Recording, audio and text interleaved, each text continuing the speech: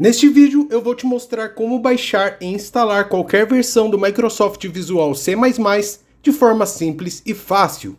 O Microsoft Visual C++ é um pacote de ferramentas essencial da Microsoft. Para simplificar, podemos dizer que são pacotes de bibliotecas de DLL e essas DLLs contêm códigos que são usados em programas e jogos, que são essenciais para funcionar corretamente. Quando você instala o pacote C++, é automaticamente adicionado várias DLLs ao seu sistema, como por exemplo a DLL VC Runtime 140 e a MSVCP 140, entre outras DLLs que ficam disponíveis para qualquer programa ou jogo que precisem delas. E em nosso site você terá acesso a todas as versões do Microsoft Visual C++ para download, desde a versão 2005 até a última versão mais atualizada que a 2022.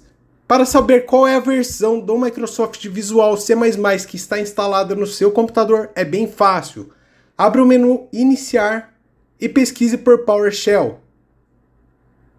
Após abrir, vocês vão colar este código e pressionar Enter. E este comando vai te mostrar qual é a versão que está instalada no seu sistema. Para baixar qualquer versão do C++ e também obter o código do PowerShell, é só clicar no link que eu vou estar deixando na descrição do vídeo.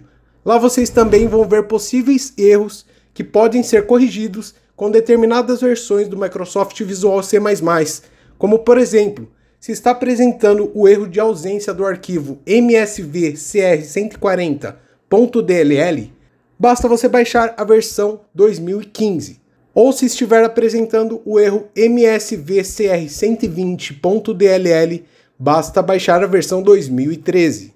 Bom pessoal, vamos ficando por aqui. Se você gostou, não se esqueça de deixar o like e também se inscrever no canal para receber notificações de novos conteúdos e também ajudar o canal a bater a meta de 40 mil inscritos. Eu conto com a força de vocês, tamo junto, valeu e até o próximo vídeo.